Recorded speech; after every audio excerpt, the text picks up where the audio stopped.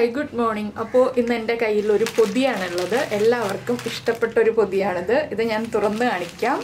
അപ്പോൾ നിങ്ങൾക്ക് എല്ലാവർക്കും നന്നായിട്ട് കൊതി തോന്നും. അതിന് മുൻപായിട്ട് ആദ്യം നമുക്കൊരു ഗ്ലാസ് കാപ്പി എടുത്ത് വയ്ക്കാം ഇപ്പോൾ തന്നെ എന്താണെന്ന് മനസ്സിലായിട്ടുണ്ടാവുമല്ലോ. തമ്മിൽ കാണുമ്പോൾ ഓൾറെഡി അറിയാം. എങ്കിലും ഞാൻ സാധാരണ നമ്മളൊരു ചായക്കടയിൽ നിന്ന് വാങ്ങിക്കുന്ന ആ ഒരു ഫീൽ കിട്ടാൻ വേണ്ടി പേപ്പറിൽ പൊതിഞ്ഞെടുത്തതാണ് പരിപ്പുവട. അപ്പോൾ നമ്മുടെ പരിപ്പുവടയും ചുക്ക് കാപ്പിയുമാണ് ഉള്ളത് അപ്പോൾ നമ്മുടെ ഇന്നത്തെ സ്നാക്ക് കുറേ ദിവസങ്ങളായിട്ട് നമ്മൾ സ്നാക്സ് അധികം ചെയ്യാറില്ല. അപ്പോൾ ഇന്നൊരു എരിവുള്ള സ്നാക്ക് ആവട്ടെ എന്ന് വിചാരിച്ചിട്ടാണ് പരിപ്പുവട ഉണ്ടാക്കിയത്. പരിപ്പുവട ആകുമ്പോൾ കുട്ടികൾക്കും വലിയ ആളുകൾക്കും എല്ലാവർക്കും ഇഷ്ടമാണ് അതുപോലെ തന്നെ പാൽ ചായയുടെ കൂടെ കഴിക്കാൻ താല്പര്യമുള്ളവർക്ക് ചായയുടെ കൂടെ കഴിക്കാം. കട്ടൻ ചായയുടെ കൂടെ കഴിക്കാൻ താല്പര്യമുള്ളവർക്ക് കട്ടൻ ചായയുടെ കൂടെ കഴിക്കാം. എല്ലാവരും ഇപ്പോൾ ഇലക്ഷന്റെ ചൂടിലൊക്കെ അല്ലേ? അപ്പോൾ നമുക്ക് ചൂടോടെ വീട്ടിലിരുന്ന് പരിപ്പുവടയും ചായയും കഴിച്ച് എൻജോയ് ചെയ്യാം. അപ്പോൾ ഈ പരിപ്പുവട എങ്ങനെയാണ് ഉണ്ടാക്കുന്നത് നമുക്കൊന്ന് നോക്കാം. നമുക്ക് നമ്മുടെ ഇൻഗ്രീഡിയൻസ് നോക്കാം. നമ്മളിപ്പോൾ ഒന്നേകാൽ കപ്പ് തൂരപ്പരിപ്പ് ഒന്നര മണിക്കൂർ വെള്ളത്തിൽ സോക്ക് ചെയ്തെടുത്തിട്ടുണ്ട്. അതുപോലെ തന്നെ രണ്ട് സവാള. രണ്ട് സവാള എന്ന് പറഞ്ഞിട്ടുണ്ടെങ്കിൽ വലിയ സവാളയാണെങ്കിൽ ഒരു സവാള ചെറിയ സവാള ആയതുകൊണ്ട് ഒരു ഒന്നേകാൽ സവാള എന്ന് പറയാനേ ഉള്ളൂ ഇത്ര എടുത്തിട്ടുണ്ട്.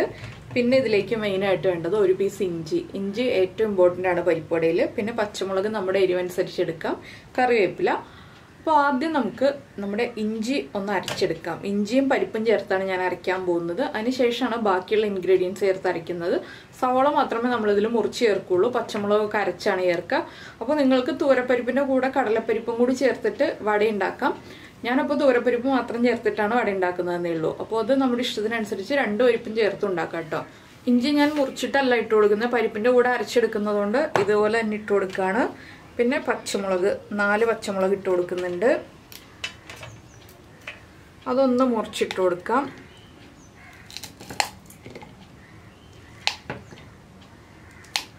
ഇനി നമ്മൾ സോക്ക് ചെയ്ത് വാഷ് ചെയ്ത് വെച്ചിരിക്കുന്ന പരിപ്പും കൂടി ഇതിലേക്ക് ഇട്ട് കൊടുക്കാം.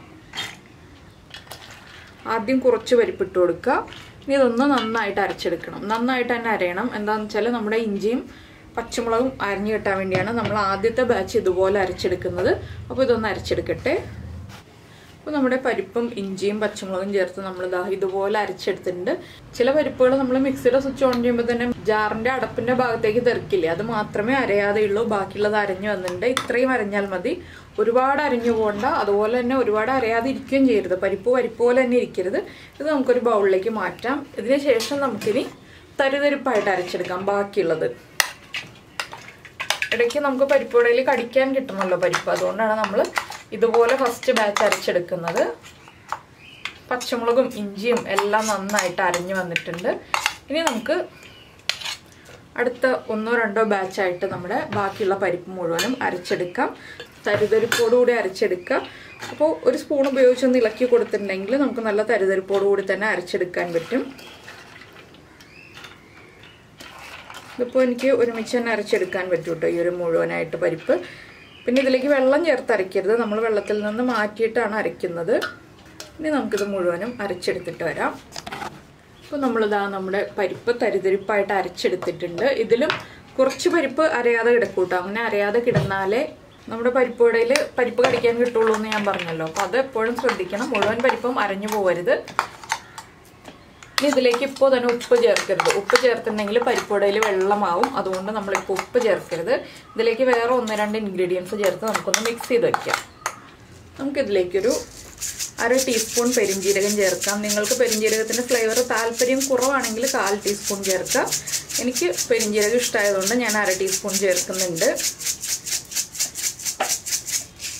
കുറച്ച് കൂടിപ്പോയി എന്ന് വെച്ചിട്ടും കുഴപ്പമൊന്നുമില്ല കേട്ടോ. നല്ലൊരു ഫ്ലേവർ തന്നെയാണ് പെരിഞ്ജീരകത്തിന്. അതുപോലെ തന്നെ നമ്മുടെ കായം. ഒരു കാൽ ടീസ്പൂൺ കായപ്പൊടി. പിന്നെ നമ്മൾ ഇതിലേക്ക് ചേർക്കുന്നത് ഒരു കളറിന് വേണ്ടി മാത്രം കുറച്ച് മുളക് പൊടി. അധികം വേണ്ട. നമ്മൾ പച്ചമുളക് ചേർത്ത് അരച്ചതുകൊണ്ട് പച്ചമുളകിന്റെ എരിവുണ്ടാവും. പിന്നെ പരിപ്പോടെ ആകുമ്പോൾ കുറച്ച് എരിവുള്ളതാണ് ടേസ്റ്റ് ഓവറായിട്ട് എരിവായി പോകരുത് ഇതെല്ലാം ചേർത്ത് നമുക്കൊന്ന് മിക്സ് ചെയ്ത് വെക്കാം. ഉപ്പും സവോളയും മാത്രം നമ്മളിപ്പോൾ ചേർക്കുന്നില്ല. ഇതിലേക്ക് നമ്മുടെ കറിവേപ്പില നമുക്ക് ഒന്ന് കൈകൊണ്ട് മുറിച്ച് ചേർക്കാം. കറിവേപ്പിലയൊക്കെ കൂടുതൽ ചേർക്കുന്നത് വളരെ നല്ലതാണ് പരിപ്പുവടയ്ക്ക് എപ്പോഴും.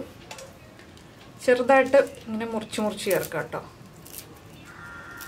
ഇതെല്ലാം ചേർത്ത് നന്നായിട്ട് മിക്സ് ചെയ്ത് വെക്കുക. സവോളയും ഉപ്പും ചേർത്തിട്ട് നമുക്ക് കൈ ഉപയോഗിച്ച് കുഴച്ചെടുക്കാം. ഉപ്പ് എന്താണെന്ന് വെച്ചാൽ ആ കായത്തിന്റെ ഫ്ലേവറും നമ്മുടെ കറിവേപ്പിലയുടെ ഫ്ലേവറും ഒക്കെ പരിപ്പിലേക്ക് മിക്സ് ആയി വന്നോളും. ഇത് നമുക്ക് മാറ്റി വയ്ക്കാം ഇനി സവോള കട്ട് ചെയ്തെടുക്കണം. അതുപോലെ തന്നെ നമ്മുടെ ഉപ്പും ചേർത്ത് മിക്സ് ചെയ്ത് വെക്കണം. അതിന് ശേഷം അല്ല അതിന് മുൻപായിട്ട് നമ്മൾ എണ്ണ ചൂടാക്കാൻ വെക്കണം. സവോള കട്ട് ചെയ്യുമ്പോൾ തന്നെ നമ്മൾ എണ്ണ ചൂടാക്കാൻ വെക്കണം. സവോളയും ഉപ്പും ചേർത്ത് മിക്സ് ചെയ്തിട്ട് ഉടനെ തന്നെ പരിപ്പൊടി ഉണ്ടാക്കിയെടുക്കണം. അതുകൊണ്ടാണ് ഞാൻ സവോള ഇപ്പോൾ കട്ട് ചെയ്യാതെ വെച്ചതും ഇതിലേക്ക് ഉപ്പ് ചേർക്കാതെ വെച്ചിരിക്കുന്നതും. അപ്പോൾ ഇത് രണ്ടും ചേർക്കാം നമുക്കിനി. ഇതിവിടെ ഇരിക്കട്ടെ. പിന്നെ പരിപ്പുവടക്കൊക്കെ എപ്പോഴും ഒരു പൊടിക്ക് ഉപ്പ് കൂടുതൽ വേണം കേട്ടോ. നമ്മളിങ്ങനെ റോ ആയിട്ടുള്ള പരിപ്പ് ടേസ്റ്റ് ചെയ്ത് നോക്കുമ്പോൾ ഉള്ളതിനേക്കാൾ കുറച്ച് കൂടുതൽ പരിപ്പിൽ ഉപ്പ് നിന്നാലേ പരിപ്പ് വടയായി കഴിയുമ്പോൾ ഉപ്പ് കറക്റ്റ് ആവുള്ളൂ. അപ്പോൾ നമ്മൾ ഈ അരച്ച പരിപ്പിൽ ഉപ്പ് ചേർത്ത് മിക്സ് ചെയ്തിട്ട് ടേസ്റ്റ് ചെയ്യുമ്പോൾ ഒരിത്തിരി കൂടുതലായിരിക്കണം ഉപ്പ്. അപ്പോൾ നമ്മൾ വടയാക്കി പൊരിച്ചെടുത്ത് കഴിയുമ്പോൾ കറക്റ്റ് ആയിരിക്കും. അപ്പോൾ നമുക്കിത് മാറ്റി വെച്ചിട്ട് നമുക്ക് മുറിക്കാനുള്ള കാര്യങ്ങളൊക്കെ മുറിച്ച് ചേർക്കാം. എണ്ണയും ചൂടാക്കാൻ വെക്കാം. അപ്പോൾ നമ്മൾ നമ്മുടെ സവോള മുറിച്ചെടുത്തിട്ടുണ്ട്. നമുക്കിത് നമ്മുടെ പരിപ്പിലേക്ക് ചേർക്കാം. സവോള ചേർത്തതിന് ശേഷം നന്നായിട്ട് കൈ ഉപയോഗിച്ച് ഇതുപോലെ മിക്സ് ചെയ്ത് കൊടുക്കുക. സവാള പരിപ്പിലേക്ക് എല്ലാ ഭാഗത്തേക്കും ഒരുപോലെ ആയി കിട്ടാനാണ് നമ്മൾ ഇതുപോലെ മിക്സ് ചെയ്ത് കൊടുക്കുന്നത് സവോള നമ്മൾ നീളത്തിൽ കട്ട് ചെയ്തിട്ട് കുറുകെ കട്ട് ചെയ്ത് അങ്ങനെയാണ് എടുത്തിട്ടുള്ളത്. വലിയ സോളയായിട്ടല്ല എടുത്തിട്ടുള്ളത്. ഇനി ഇതിലേക്ക് നമുക്ക് ഉപ്പ് ചേർക്കാം. ആദ്യം കുറച്ച് ഉപ്പ് ചേർത്ത് മിക്സ് ചെയ്തിട്ട് നമുക്ക് ആവശ്യമാണെങ്കിൽ വീണ്ടും ചേർത്ത് കൊടുക്കാം. പിന്നെ എരിവ് കുറവാണെങ്കിൽ നിങ്ങൾക്ക് വീണ്ടും പച്ചമുളക് അരച്ച് ചേർക്കാം. ഇല്ലെങ്കിൽ പച്ചമുളക് മുറിച്ച് ചേർക്കാം. മുളക് പൊടി ചേർക്കാം. അങ്ങനെ പല ഓപ്ഷൻസ് ഉണ്ട് കേട്ടോ എരിവ് ഒരുപാട് എരിവ് പരിപ്പോടയ്ക്ക് വേണ്ടല്ലോ. ചെറിയൊരു എരിവ് മതിയല്ലോ. അപ്പോൾ ഞാനൊന്ന് ഉപ്പ് ചെക്ക് ചെയ്യട്ടെ. ഉപ്പ് കറക്റ്റാണോ എന്നുള്ളത്. ഉപ്പ് കുറവാണ്. നമുക്ക് കുറച്ചുകൂടെ ഉപ്പ് ചേർക്കാം.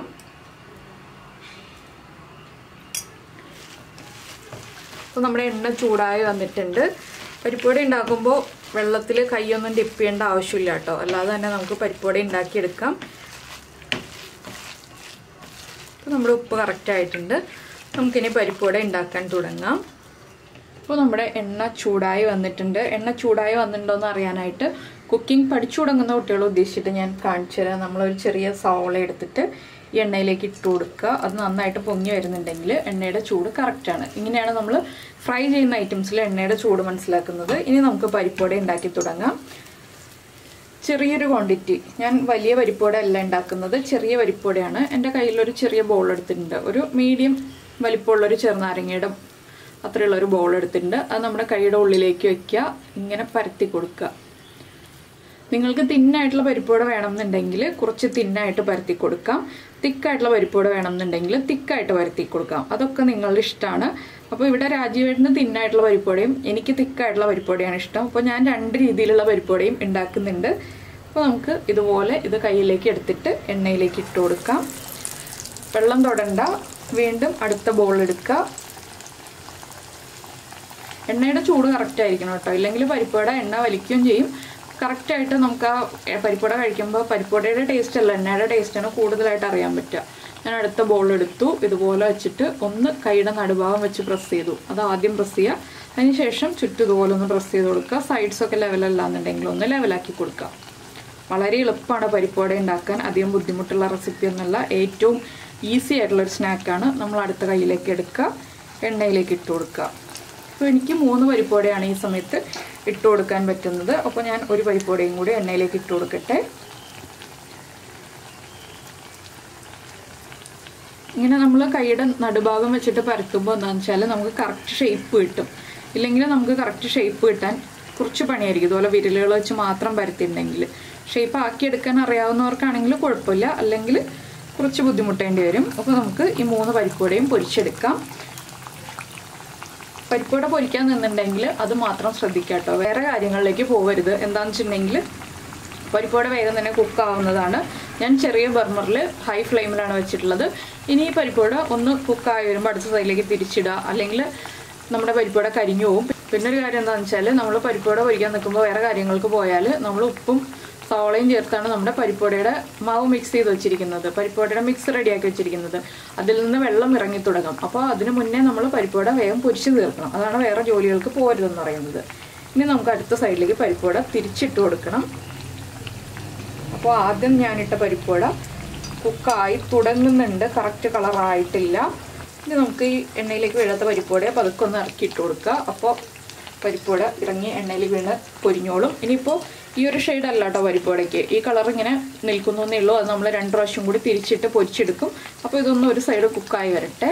അപ്പോൾ നമ്മുടെ പരിപ്പുവട ഒരു സൈഡ് കുക്കായിട്ടുണ്ട് നമുക്ക് അടുത്ത സൈഡിലേക്ക് തിരിച്ചിടാം. കണ്ടോ? കളറായി വരുന്നുണ്ട്. മുളക് പൊടി കൂടുതൽ ചേർക്കുകയാണെങ്കിൽ റെഡ് കളർ വേഗം വരും. പക്ഷേ പരിപ്പ് പെർഫെക്റ്റ് ആയിട്ട് കുക്കായിട്ടുണ്ടാവില്ല അതുകൊണ്ടാണ് നമ്മൾ പച്ചമുളക് ചേർത്തിട്ട് ഇതുപോലെ പരിപ്പൊടി ഉണ്ടാക്കുന്നത്. നിങ്ങൾക്ക് മുളക് പൊടി വേണമെങ്കിൽ കൂടുതൽ ചേർക്കാം. വറ്റൽമുളക് അരച്ച് ചേർക്കാം. പച്ചമുളകിന് പകരം അങ്ങനെയൊക്കെ ചെയ്യാം കേട്ടോ. അപ്പോൾ ഇതിനി ഈ സൈഡും കൂടെ ഒന്ന് മൊരിഞ്ഞു വരട്ടെ. അപ്പോൾ നമ്മൾ ആദ്യം തിരിച്ചിട്ട പരിപ്പോടെ ദാ മൊരിഞ്ഞു വന്നിട്ടുണ്ട്. ഇത് ഇപ്പോൾ ഈ കളറാണെന്ന് വിചാരിക്കേണ്ട കേട്ടോ. ഇത് ഒന്നുകൂടി കളർ മാറി വരും. ചൂട് മാറി വരുന്നതനുസരിച്ച് കളർ മാറി വരും. അപ്പോൾ ഞാൻ എന്താ ഈ ഒരു പരിപ്പോട മാറ്റി വയ്ക്കുകയാണ്. ഇനി നമുക്ക് അടുത്ത രണ്ട് പരിപ്പോടയും ഇതുപോലെ തന്നെ എടുത്ത് മാറ്റി വയ്ക്കാം. കണ്ടോ? നല്ല അടിപൊളി പരിപ്പോടയാണ് നല്ലൊരു മണമുണ്ട് ഇവിടെ പരിപ്പോടയുടെ ഇതുപോലെ നമുക്ക് ബാക്കിയുള്ള പരിപ്പോടയൊക്കെ ഉണ്ടാക്കിയെടുക്കാം. അപ്പോൾ നിങ്ങളിപ്പോൾ കണ്ട കളറല്ലായിരിക്കും ഇനി കാണുമ്പോൾ എന്താണെന്ന് വെച്ചിട്ടുണ്ടെങ്കിൽ പരിപ്പോടെ ചൂട് മാറിയിട്ടായിരിക്കുമല്ലോ ഇനി കാണുന്നത്. അതുകൊണ്ടാണ് ഞാൻ പരിപ്പോടയുടെ ചൂട് മാറുമ്പോൾ കളർ മാറും എന്ന് പറഞ്ഞത്. അപ്പോൾ അപ്പോൾ നമ്മുടെ പരിപ്പോടയും ചായയും എല്ലാം റെഡിയായി കഴിഞ്ഞു. ചായ അല്ല കാപ്പിയാണ്. നല്ല ചുക്ക് കാപ്പി. അപ്പോൾ എല്ലാവർക്കും വൈകുന്നേരം ചൂട് പരിപ്പോടയും ചുക്ക് കാപ്പിയും ഇന്ന് തന്നെ ഉണ്ടാക്കി കഴിക്കാം കേട്ടോ. അപ്പോൾ ഇതുപോലെ പരിപ്പോട് നിങ്ങൾ ഉണ്ടാക്കിയിട്ടില്ലെങ്കിൽ ഇതുപോലെ ഒന്ന് ട്രൈ ചെയ്ത് നോക്കിക്കോളൂ. പെരിഞ്ചീരകമൊക്കെ ചേർത്ത് ഇതുപോലെ പരിപ്പോട് ഉണ്ടാക്കി കഴിക്കുമ്പോൾ അതിന്റെ ഒരു പ്രത്യേക ടേസ്റ്റാണ് എല്ലായിടത്തും പെരിഞ്ചീരകം ചേർക്കാറുണ്ടോ എന്ന് എനിക്കറിയില്ല. അതുകൊണ്ടാണ് ഞാൻ പെരിഞ്ചീരകം ചേർത്തെന്ന് എടുത്തു പറഞ്ഞത്. അപ്പോൾ ഈ ഒരു റെസിപ്പി ഇഷ്ടമായിട്ടുണ്ടെങ്കിൽ നിങ്ങൾക്ക് ഇഷ്ടമുള്ള റെസിപ്പികളൊക്കെ എപ്പോഴും പറയാറുള്ള പോലെ കുക്കിംഗ് താല്പര്യമുള്ള നിങ്ങളുടെ ഫ്രണ്ട്സിനും ഫാമിലി മെമ്പേഴ്സിനൊക്കെ ഷെയർ ചെയ്ത് കൊടുക്കുക. അതുപോലെ തന്നെ നമ്മുടെ റെസിപ്പികൾ ഇഷ്ടമായിട്ടുണ്ടെങ്കിൽ പരമാവധി ഒന്ന് ലൈക്ക് ചെയ്യാൻ ശ്രമിക്കുക. അതുപോലെ തന്നെ ഇഷ്ടമുള്ള റെസിപ്പികൾക്കൊക്കെ കമന്റ് ചെയ്യാനും മറന്നു പോരുത്. പിന്നെ ഒരു കാര്യം എന്താണെന്ന് വെച്ചാൽ നമ്മുടെ ചാനൽ ആദ്യമായിട്ട് കാണുകയാണെങ്കിൽ നമ്മുടെ വീഡിയോ കണ്ട് ഇഷ്ടമായിരുന്നുണ്ടെങ്കിൽ നമ്മുടെ ചാനൽ ഒന്ന് സബ്സ്ക്രൈബ് ചെയ്യുക. സബ്സ്ക്രൈബ് ചെയ്യുന്നതിന് ഈ വീഡിയോയുടെ താഴെയുള്ള റൈറ്റ് സബ്സ്ക്രൈബ് ബട്ടൺ ഒന്ന് ക്ലിക്ക് ചെയ്യുക. അതിന്റെ റൈറ്റ് സൈഡിലുള്ള ബെല്ലൈക്കൺ ക്ലിക്ക് ചെയ്യുക. അപ്പോൾ ഓൾ എന്ന് പറഞ്ഞിട്ടൊരു ഓപ്ഷൻ വരും. ആ ഓളും കൂടി പ്രസ് ചെയ്തിട്ടുണ്ടെങ്കിൽ ഞാൻ എപ്പോഴും വീഡിയോ അപ്ലോഡ് ചെയ്യുമ്പോൾ നോട്ടിഫിക്കേഷൻ വരും. അപ്പോൾ നമുക്ക് എന്തായാലും പരിപ്പൊടിയും കാപ്പിയൊക്കെ കഴിക്കാം.